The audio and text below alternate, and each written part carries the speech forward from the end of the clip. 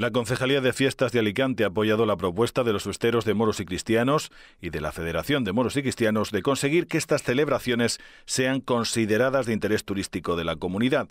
Cerca de 2.000 folios han conformado el conjunto de las memorias presentadas por las asociaciones de moros y cristianos de Villafranqueza, El Palamó, El Rebolledo, San Blas y Altozano. Desde el ayuntamiento han destacado el gran trabajo que están realizando para conseguir esta distinción. Es un compromiso que teníamos aferramente con todos los, representantes integrantes de los diferentes barrios de las fiestas del, del, bando de la Media Luna de la Cruz, de los moros y cristianos de nuestra ciudad, que todos consideramos que tienen que tener ese tipo de declaración. Ya lo hicimos con la Semana Santa, toda la tramitación para que consiguieran la declaración de interés turístico a nivel nacional, las les fogueres que la tienen ya desde 1983 la internacional y seguiremos trabajando por todas las fiestas de la ciudad porque creo que debemos posicionar a nuestras fiestas en el lugar que merecen y sobre todo todo que obtengan esos reconocimientos, esas declaraciones eh, turísticas que nos benefician a todos y muy especialmente para toda esa gran cantidad de gente de, que viene a visitarnos cuando coinciden con nuestras fiestas. Tras la declaración institucional, con el refrendo unánime del conjunto de los grupos políticos,